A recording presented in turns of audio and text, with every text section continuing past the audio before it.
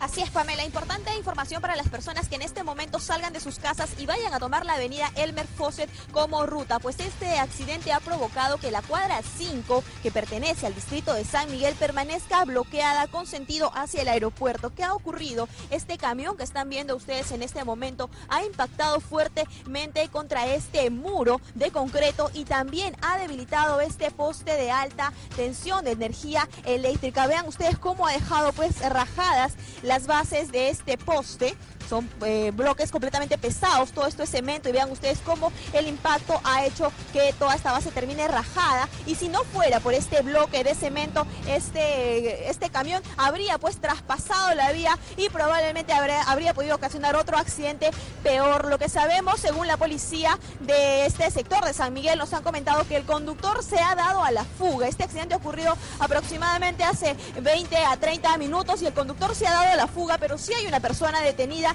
que es el copiloto, el acompañante de este conductor y ya se encuentra él en la comisaría. Entonces ustedes pueden ver en este momento que la avenida Fosset principalmente pues es utilizada para poder conectar del centro de Lima hacia el Callao, una de las avenidas más utilizadas que en este momento solamente los vehículos eh, privados y de transporte público están utilizando un carril que es el carril de la derecha, el carril lateral. Lo que teme en este momento, lo que teme la policía de tránsito es que se empiece a congestionar la zona porque esta es una avenida muy principal que los vehículos utilizan para dirigirse hacia el Callao. Entonces los conductores deben tener en cuenta esta información para que tal vez puedan tomar otra ruta. Vean ustedes cómo en este momento ya empieza a cargarse el tráfico aquí en esta zona. Lo que se requiere son dos cosas, compañeras. Que venga una grúa de inmediato eh, para que pueda retirar esta, eh, este camión de este lugar y pueda eh, aliviarse así el tráfico. Y también, importante, venga también la empresa de luz para poder hacerse responsable sobre este, este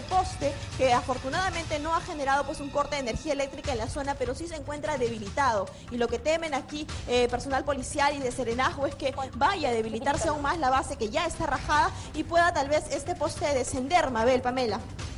Bien, Talía, muchísimas gracias por la información.